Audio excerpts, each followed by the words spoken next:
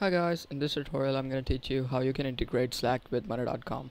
Go to your Monday.com board and press integrate button, search for Slack, click on it. And select any automation that you would like to perform. There are a lot of automations, select anyone that you need to perform. Let's say I want to perform this automation, press on add on board, press connect